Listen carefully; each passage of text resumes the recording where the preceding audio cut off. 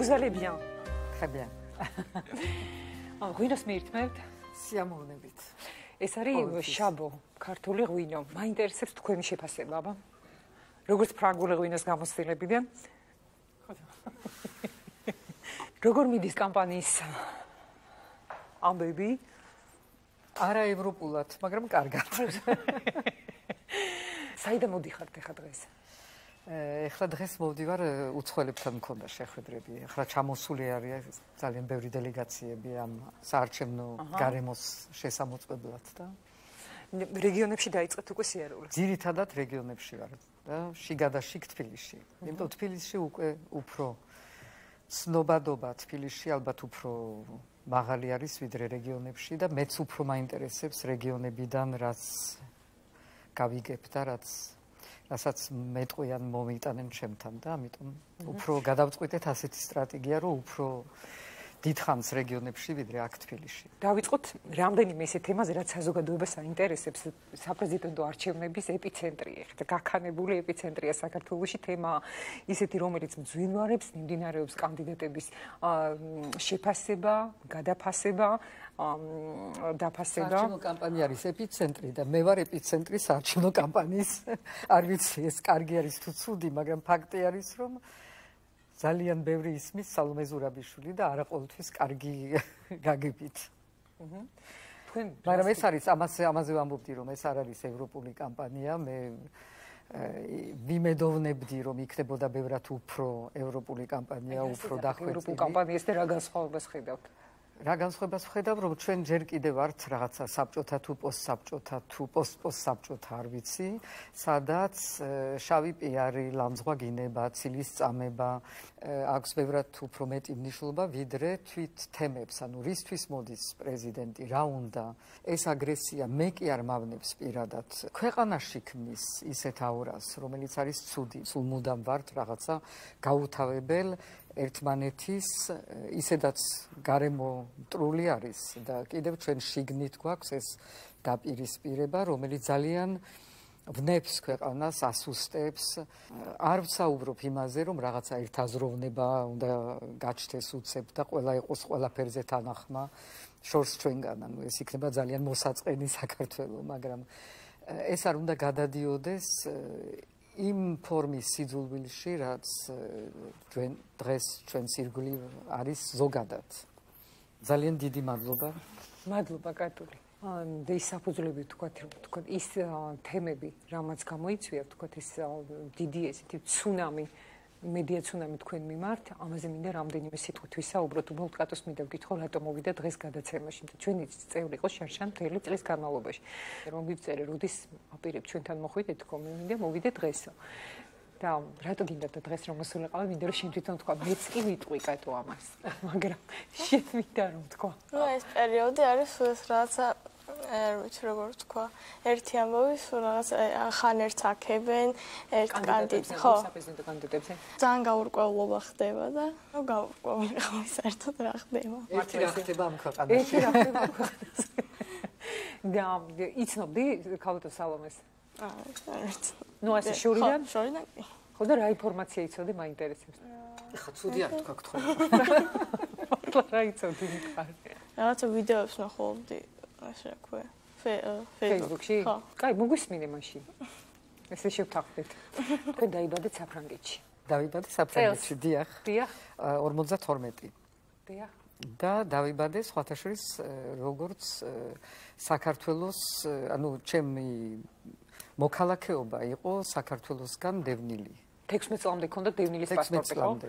ეს მოგზაურობის უფლება ყველგან ქონდათ, საქართველოს გარდა. ესე იყო. საქართველოს გარდა.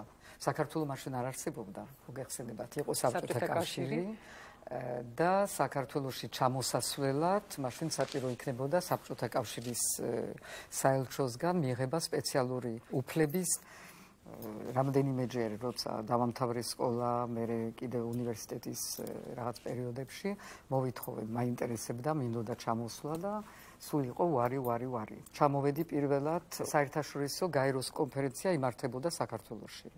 და მითხრეს რომ ალბათ გაინტერესებს რომ იყო დელეგაციაშიო და თუ გინდაო ჩაგწერთო და მე ვთქვი როგორ არა მინდა ძალიან მინდა და თან ვიფიქრე რომ შეიძლება ეს გაარღვევს იმ წინამდებობებს რაც ხდებოდა აქ ჩამოსვლაზე. რამდენი წელი იყავით მაშინ? 36-ის. 36-ის. ну და საშუალება მოგცეს მხოლოდ ცხეთამდე დაგითვალიერებინათ, ხო? როგორ იყო საბჭოთა წესები, რომ უცხოელებს არ ქონდათ უფლება რომ დედაქალაქიდან 30 კილომეტრზე მეტი გასულიყავი. და ვიყავი 2 დღით თუ 3 დღით, ასე რომ ძალიან არადამაკმაყოფილებელი ჩემთვის, რომ უცებ ჩამოვედი ვნახე და უნდა წახვიდე უკან და მაშინათვე შევიტანე უკვე ჩეულებრივ ტურისტულ ვიზაზე ჩემთვის, დედაჩემისთვის და ბავშვებისთვის, რომელიც იყვნენ ძალიან პატარები და ჩამოვედით რაღაც 3 თვის მერე. საფრანგეთის 4 პრეზიდენტის პრეზიდენტობის პერიოდში, ანუ საკმაოდ გრძელვადიან პერიოდში, თქვენ იყავით საფრანგეთის დიპლომატიური 30 წელიდან. ვარა, საფრანგეთის დიპლომატიურ სამსახურში, ასე შეგვიძლია ვთქვა, თქო ერთ-ერთი მსოფლიოში ერთ-ერთი ყველაზე წამყვანი ქვეყნის და მინდა ჩამოთვალოთ თქვენი ა პროფესიონალური გამოცდილება რამდენიმე ჩამოთვლი მხოლოდ უკვე ბოლო პერიოდში. ამ დროს დავლევ ამ დროს დალიეთ ხო გამაგრდით უნდა ჩამოვთვალო. საფრანგეთის საგარეო საქმეთა მინისტრის კაბინეტის მრჩეველი. ეს იყო 96-98 წლებში. შირაკის პერიოდია. შირაკის პერიოდია. საფრანგეთის საგარეო საქმეთა სამინისტროს გენერალური ინსპექციის ინსპექტორი, საფრანგეთის საგარეო საქმეთა სამინისტროს სტრატეგიის საკითხების უშიშროებისა და განიარაღების სამართლოს თანამშრომელი, საფრანგეთის ეროვნული თავდაცვის გენერალური სამდინოს საერთაშორისო და სტრატეგიულ საკითხთა ხელმძღვანელი. და ასე შემდეგ და ასე შემდეგ. შემდეგ უკვე საქართველოს საგანგებო და სრულუფლებიანი ელჩი საქართველოსში. საქართველოსში, როდესაც უკვე პრეზიდენტმა მიხელ სააკაშვილმა გთხოვეთ, რომ თხოვა საფრანგეთის მთავრობას პრეზიდენტს პირადად შეგვიძლია ვთქვათ რომ თქვენ გადმოსულიყავით საქართველოსში და საქართველოს უკვე პოლიტიკურ სამსახურში ჩამდგარიყავით. თქვენ გაქვთ სოფლიოში ერთ-ერთი ყველაზე წამყვან ქვეყანაში ძალიან მნიშვნელოვანი დიპლომატიური გამოცდილება. და რატომ უსმენ ამას ხას მაშინ როდესაც ვთქვათ ესეთი მნიშვნელოვანი გამოცდილება გაქვთ საგარეო პოლიტიკასთან შეხებით. და მოხდა ისე რომ ვთქვათ თქვენი წინა საარჩევნო საპრეზიდენტო კამპანია მედია ცუნამით დაიწყო თქვენი საუბრით რუსეთ საქართველოს ომთან დაკავშირებით. ანუ ეს გათვლილი იყო, არ იყო? ა როგორ დაიწყო თქვა ეს კამპანია პირდაპირ ამ თემაზე, იმიტომ რომ მეტად დაგეგმილი და ამის დაგეგმილი თქვენი მხრიდან არ ყოფილა? ჩემი მხრიდან ნამდვილად არ ყოფილა. აქ არის რეალურად ორი სფერო. ერთი რომელიც იმდენად ნათელი არის, რომ ამაზე ყურადღების გამახვილებაც არ იყო საჭირო, ახლა შეიძლება ის არის, რომ მე პირველი ნაწილი ნაკლებად ახსენი ვიდრე მეორე. პირველი არის რომ აგრესორი არის ის, რომელიც მეორე მეორეს ტერიტორიაზე შემოდის.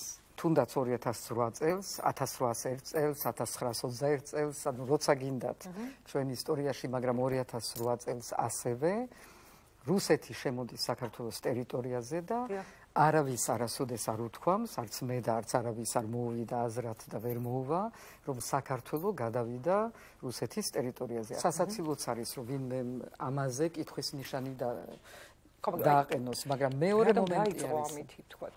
დაიწყო იმითი, ჯერთ რომ ამოგლეჯილი იყო ნაწილები ჩემი კონტექსტიდან, ნათქვამის კიდევ ერთხელ არის ორი ნაწილი. თუ პირველი ნაწილი ამოიღე, რჩება მეორე ნაწილი და მეორე ნაწილი არის შიდა ნაწილი. პრეზიდენტის და ხელისუფლების იმდროინდელის მოქმედებები იყო გამართლებული თუ არ იყო გამართლებული ჩვენ უნდა დაგვეჯერა ჩვენი უცხოელ პარტნიორებისთვის. უნდა რაღაცა ფორმით გვერდი აგვებლო და არ ავყოლოდით ამ პროვოკაციებს თუ ეს იყო სწორი პოლიტიკა. და მე ვამბობ რომ როგორც პრეზიდენტი მე ასე არ მოვიქცეობდი ანუ უკეთესად ისე თქვენ ამბობთ რომ რუსეთის მხრიდან იყო პროვოკაციები რასაც თქვენ ამბობთ რომ საერთაშორისო ორგანიზაციები და საერთაშორისო თანამეგობრობა ჩამოდიოდნენ ამერიკელები ჩამოდიოდნენ ევროპელები და იყო არაერთი გაფრთხილება მთელი ივლისის თვეში. ხდებოდნენ ხელისუფლებას. ხელისუფლებას საქართველოს რომ არ არ აყვეთო? არ აყვეთო, თორემ ჩვენ ძალიან გაგვიჭირდება რომ რაღაცა ფორმით მაშინ ჩვენ გვენდეთ რომ ჩვენ ყველაფერს ვაკეთებთ რომ ეს კონფლიქტები რაღაცნაირად დარეგულირდეს და გამოვიდეთ ამ სიტუაციიდან, მაგრამ თქვენ ვაყვეთ. ერთ რამეს გეტყვით, იგივე შეუბნებოდნენ რუსეთსაც? აი ეს არ ვიცი. ეს არ ვიცი, მაგრამ ჩვენ რო გვეუბნებოდნენ ეს ფაქტი არის და არ უნდა აყვე პროვოკაციებს და უნდა ბოლომდე სცადო რომ მობილიზაცია გაუკეთო საერთაშორისო თანამეგობრობას და ამისი ფორმა ყველა ქვეყნებში არის რომ მიმართო როცა ხარ პატარა ქვეყანა და ყავს ძლიერი პარტნიორები რომ მიმართო გაეროს უშიშროების საბჭოს. მე ასე მოვიქცევი თუ მომავალში და ღმერთმა გვაშოროს ასეთი სიტუაცია მაგრამ არ ვიცით რა შეიძლება იყოს იმიტომ რომ ეს მეზობელი და მტერი რომელიც ყავს არის იგივე და ჯერჯერობით არანაირი ნიშანი არ არის რომ იმან შეიცვალა სახე ან დამოკიდებულება და ამიტომ უნდა ვიყოთ ამისთვის მზად ასევე უნდა ვიყოთ მზად უკიდურეს სიტუაციებისთვის და როგორც მთავარ სარდალი ცხადი არის რომ იმისთვის უნდა იყო მზად რომ თავი დაიცვა თუ ეს აუცილებელი გახდა. მაგრამ არა დანა და არა ჩანგლით. საუბარია დღეს რომ კონსტიტუციურად თქვა პრეზიდენტს აქვს ძალიან შეზღუდული უფლებამოსილება და ის ბერკეტები რაც გააჩნია თქვენ რა რა სიტყვით ამაზე? სწორი აქვს სწორი არის რომ აქვს შეზღუდული უფლებამოსილება თუ ჩვენ უყურებთ ამ საკითხს? გააჩნია? კონკრეტულად თქვენ რა ბერკეტების გამოყენება შეგიძლიათ? როგორც პირდაპირ რო ისაუბრეთ არა ამის თქვენ თვითონ რომ პრეზიდენტს ნაკლები უფლებები აქვს თუ ამას უყურებთ ძალაუფლების კუთხით. მაგრამ სამაგიეროდ გაიზარდა ის სფერო რომელიც შედის პრეზიდენტის კომპეტენციაში და ასეთი სფერო არის ყველა ადამიანის უფლებები, ყველა იმ ძირითადი უფლებების დაცვა და იმ თანამედროვე უფლებების სოციალური ჯანდაცვის, გარემოდაცვის, კულტურის მემკვიდრეობის დაცვის, ყველა ამ სფეროებში პრეზიდენტს აქვს სრული უფლება რომ იყოს ჩართული და აქვს უფლება რომ გახდეს მთავარი ლობისტი, მთავარი პროპაგანდისტი ამ საკითხების და ის არის მაპატიეთ განსხვავებით ეს ძალიან საინტერესო იმიტომ რომ ეს არის თქვენ ჩამოთვალეთ ის ყველაფერი რაც თითქოს დღეს ყველაზე მეტად უგულოყოფილია. აი თქვენ ამბობთ რომ პრეზიდენტი არ უნდა დებდეს ხოლოს ვეტოს ის მხოლოდ ის ამავდროულად იდეებსაც უნდა აწოდებდეს ადამიანებს და იმას უნდა ახორციელებდეს. კი ბატონო აი თქვენ რა იქნება ეს იდეები რასაც თქვენ განახორციელებთ? თუნდაც ჩვენი დიასპორა მაგალითისთვის ანუ ის რაც გაკეთდა ორმაგ მოქალაქეობის შეტანაზე თქვა კონსტიტუციაში ჯერ აკრძალვის ამოღება და კანონმდებლობა ეს ყველაფერი გაკეთდა სწორედ ამ ფორმით. შეგვიძლია რომ თქვათ ეს თქვენი ინიციატივა ვთქვათ კი ბატონო. ჩემი ინიციატივა. კი, ის რა თქვენ როცა საუბრობთ, რადგანაც ეს უკვე თქვენ გაკეთებული გაქვთ, თქვენ გონიეთ რომ კატონან დაწყებული ყველა ვიცის. არა, ხო, მაგრამ არ მიყვარს იმის ხაზგასმა, მაგრამ ხო, ჩემი ინიციატივა იყო. მე მაინტერესებს რომ თქვენ როგორც პარლამენტის წევრმა, შეიძლება არ იყავით ძალიან აქტიური პარლამენტში, მაგრამ ამავდროულად რაღაცას ხო ქმნიდით? ანუ რას იყავი ძალიან აქტიური პარლამენტში. ხო, აი ეს არის საინტერესო, რას ეძახით იმ აქტიურობას. ეს იყო ერთ-ერთი თემა, ინიციატივა ორმაგ მოქალაქეობის, რომელზედაც მუშაობა დაწყებული მქონდა სანამ გავხდებოდი პარლამენტის წევრი, რეალურად ბერკეტის გარეშე მივახციე იმას, რომ დავარწმუნე უმრავლესობა იმაში, რომ ამ კუთხით აუცილებელი იყო კონსტიტუციის ცვლილება და შემოტანა ორმაგ მოქალაქეობის დაშვების თემის კონსტიტუციაში და შემდგომ კანონში. ორმაგი მოქალაქეობა დღეს დაშვებული. დღეს დაშვებული არის, მაგრამ კონსტიტუცია შევა ძალაში მხოლოდ როცა ახალი პრეზიდენტი დადებს ფიცს, მაგრამ ამ მუხლებში უკვე შესული არის ამაზედაც ვიმუშავეთ, რომ დღეს შეიძლება რომ ყველა ვინც საზღვარგარეთიდან გვიყურებს და ვისაც აინტერესებს, შეუძლიათ უკვე შეიტანონ თავიანთი განაცხადი, რომ მოითხოვონ აღდგენა თავიანთი მოქალაქეობის და ვისაც არ აქვს ჯერ ჩამორთმეული შენარჩუნება. და ხშირად არის საუბარი თქვენს ქართულთან დაკავშირებით. თქვენ ხართ მესამე თაობა იმიგრაციის. საქართველოს ხშირად არ არის ესეც ესეც არის თემა, რომელიც დაიწყო ახლა. 15 წელი აქ ვარ. ხშირად არის გეთახმებით, ხშირად არის ის ნიშნავს დღესდღეობით. ანუ რაზეც დღეს საუბრობ, დღეს არის საპრეზიდენტო კამპანიის ერთ-ერთი თემა. ამ საარჩევნო კამპანიის ერთ-ერთი თემა.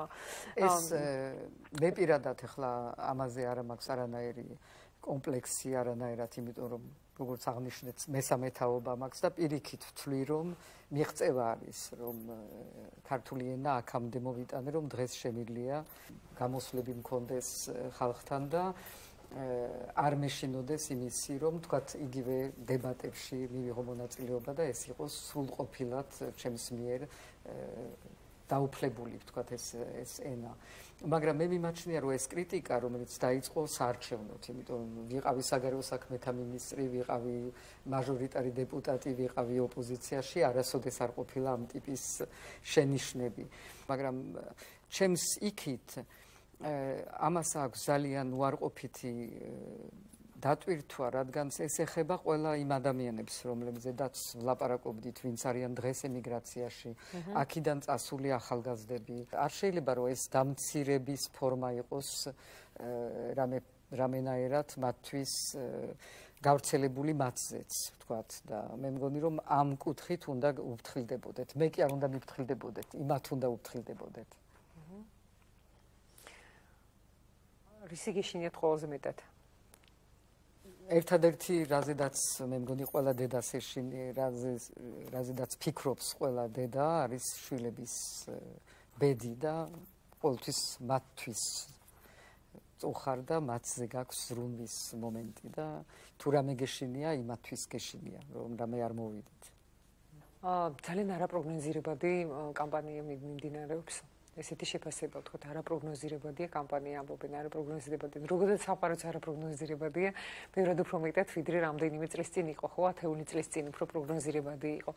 რა არის თქვენთვის თქვენი ისტორიული წარსულიდან გამომდინარე, იყო საქართველოს მომავალი პრეზიდენტი? ეს არის პირველ რიგში და პირველ რიგში დასრულება არის წრის, ანუ წავიდნენ და არის სრული დაბრუნება. თქვენს ოჯახთან საუბრობთ? არა, მხოლოდ არა, ოჯახზე არა. ქვეყნის ამ 100 წლის დასრულება, დაბრუნება, ის რაც განდევნეს ქვეყნიდან, მე მჯერა ბედის წერის, მე მჯერა რომ აქ აქამდე არ მოვსულ ვარ ისე რატო როგორც ჩვეულებრივი კანდიდატი. მე მგონი რომ ეს არის ნაწილი ჩვენი ისტორიის ჩემი თავი კი არა, მაგრამ ემიგრაციიდან დაბრუნებული ადამიანი, რომელიც ხვალ გახდება საქართველოს პრეზიდენტი, ამას აქვს ძალიან დიდი რაღაცა მითოლოგიაში ვჯდებით რაღაცნაირად. ეს ადამიანი ამიტომ მე მჯერა რომ პროგნოზირებადი არის შედეგი. აა ესე ფიქრობთ? ასე ვფიქრობ. აჰა. ო თქვენ ხასიათზეც ხშირად საუბრობენ. ხასიათზე ვიღაცამ თქვა რომ ისა ქალები როცა არიან პოლიტიკაში ყოველთვის მათ ხასიათზე ლაპარაკობენ და მართლაც ახლა ნებისმიერ კარიერაში მაგრამ კიდე უფრო პოლიტიკაში ალბათ უნდა გამოძრავებდეს რაღაც პრინციპები და რაღაც ხასიათი. ამაში ორი აზრი არის რაღაც მორალურ ღერძზე უნდა იდგე ყოველ რა თქმა უნდა. იმიტომ თუ არა ძალიან რთული არის და თუ არა მაშინ ძალიან ბევრი მომენტები არის როცა იფიქრებ რომ აბა რაც მინდა არ მიიღირს ანუ ხასიათი მაქვს აჰა. ძალიან საინტერესო იყო თქვენთან საუბარი. მგონი ის ყველა კითხვა, რაც მე მქონდა, აა ამას შევეხე. მე ვისაუბრებთ თუ დაპატიჟებთ საქართველოს პრეზიდენტს. აუცილებლად კი ბატონო, ჩვენ გავაგზავნებთ სხვა კანდიდატების გვეყოლება და იმათანაც გვექნება საუბარი. და ესეთი კითხვა მაქვს ღმერთისგან რომ მიიღოთ შეტყობინება. რა ნიშანს მოგცემდეთ? არ ვიცი რა ნიშანი უნდა მომცეს. მე ვიცი მე რა უნდა მივცე რა ნიშანი და რა რა უნდა ვუთხრა რომ მე ძალიან მადლობელი ვარ ამ ცხოვრებისთვის რომელიც ყველა მხრივ მომეცა ძალიან ბევრი რამ და მხოლოდ მადლიერება შემიძლია გამოვხატო. ეს თქვენი უფრო პასუხი იქნებოდა. ეს იქნებოდა. ჩემი პასუხი. ძალიან დიდი მადლობა. კაპიტან საუმე, ძალიან საინტერესო იყო თქვენთან საუბარი. ში, რა სიტყვი გადა? მე მე მივხვდი რომ პოლიტიკაში ვერასდროს ვერ გავერკვევი ისეთ რაღაცას. ესე იგი ვერ ახსენი ვერაფერი, კარგია. თქვენ ორი შვილი ყავთ? ქალიშვილი. რას კეთევანი და ეს შვილი, ბიჭი, ვაჟი, თემურაზი. აჰა. და ცხოვრებაში რას აკეთებენ პროფესიით? პროფესიით თემურაზი არის დიპლომატი და ქალიშვილი არის ჟურნალისტი. ჩვენ ჩავწერეთ თქვენი შვილებიც, შვილებს აქვთ ყოველთვის რაღაც ისეთი ხედვა, განსაკუთრებული, რაც გონია რომ ვიცით, მაგრამ ყოველთვის ძალიან მაინტერესებს. ხო, რა ყოველთვის რაღაცას აღმოაჩენთ, ამას გადაცემა რომ გავა ეთერში, შემდეგ თქვენ თვითონ ესე სიურპრიზად იხილავთ, გადმოგცემთ წიგნს.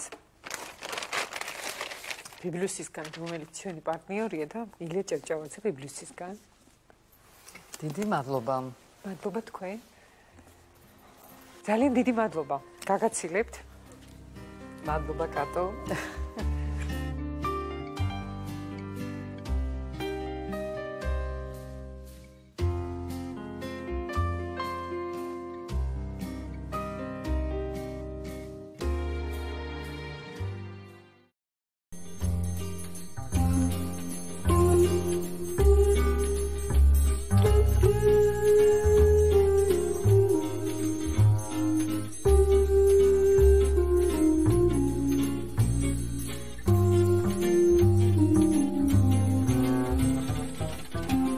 სალომე ზურაბიშვილი თქვენი დედა დღეს საქართველოს პრეზიდენტობის კანდიდატია.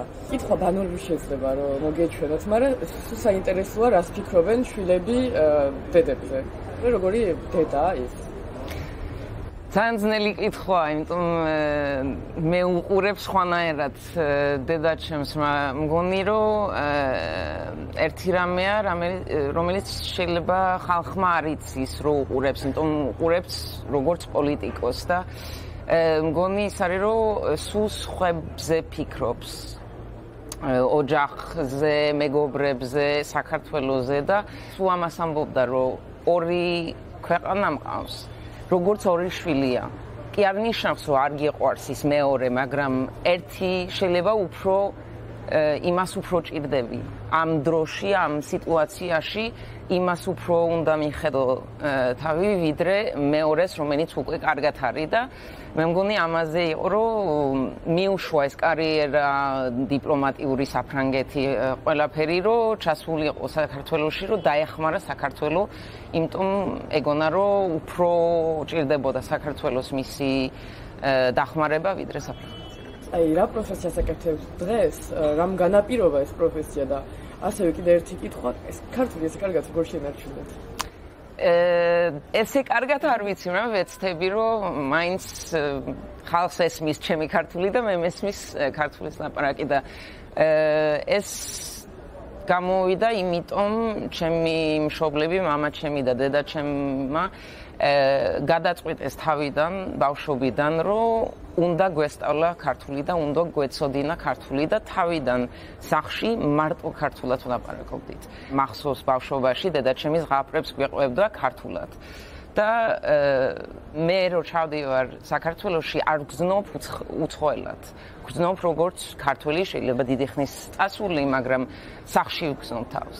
მგონი ჟანრიც იყო ძალიან მნიშვნელოვანი ამაში, იმიტომ ჟანრისთან სულ ქართულად ვლაპარაკობდით და დიდი მნიშვნელობა ქონდა ამაში, რომ შევინარჩუნეთ ეს ეს ქართული საქმეს შეკითხვაზე ჟურნალისტი ვარ, სპორტის ჟურნალისტი. მე არ მინდოდა დიპლომატია და მაგრამ მე მგონი ამოვარჩიე მეორე პროფესია, სადაც შეიძლება ამდენი წასვლა მოსვლა და სხვა ადგილებში, სხვა ადგილების ნახვა და მე მგონი ამითი ცოტა ერთნაირი არჩევანი იყო, როგორც ჩემი ძმა და როგორც დედა ჩემის, რომ გვინდოდა პროფესია, სადაც არ ვიქნებოდით ჩაკეტილი ერთ ადგილას, ერთ ქვეყანაში და შეგვეძლო სხვადასხვა ადგილას წასვლა. და დიდი მადლობა ამ ინტერვიუს. მადლობა.